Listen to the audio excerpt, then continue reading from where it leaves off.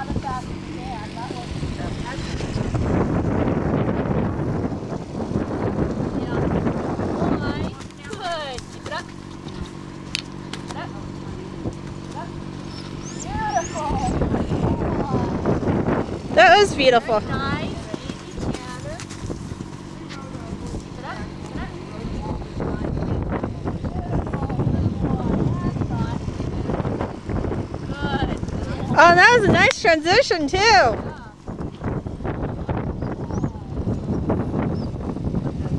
He is so intelligent.